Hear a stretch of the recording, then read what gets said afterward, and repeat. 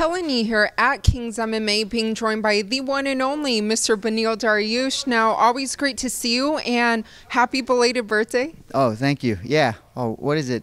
It's been like 20 days, but yeah, thank you. Yeah. Still the same month, and I know your daughter's first birthday is coming up as well.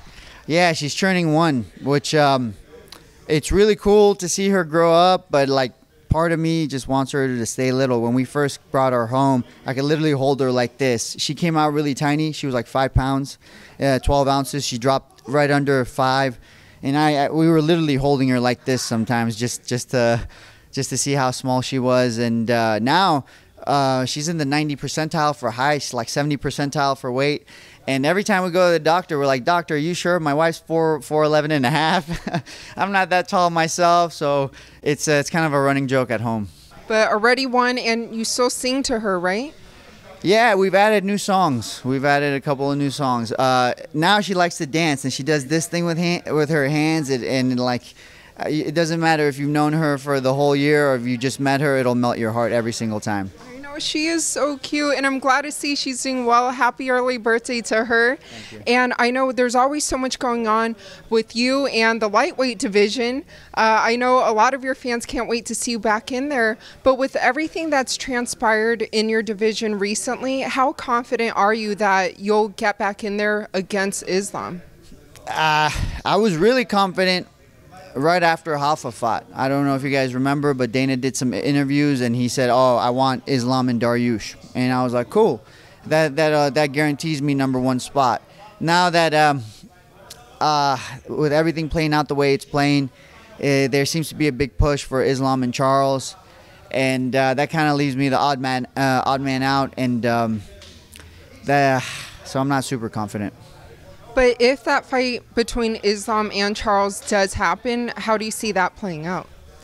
It's hard to say because we've never really seen Islam under pressure with striking.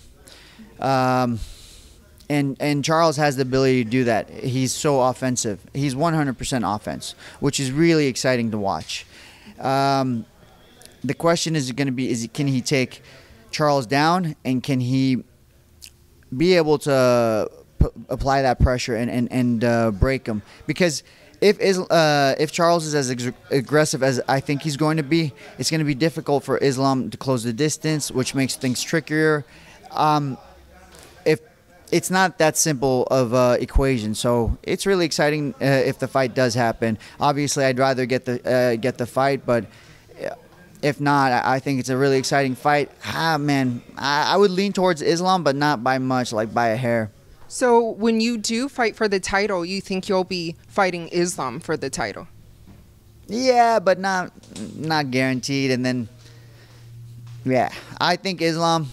Um, and if it's not for the title, we'll be fighting in Abu Dhabi. For you, you've been building up such a great resume, seven fight win streak. I mean, a lot of people are also putting you in that picture though for that title shot.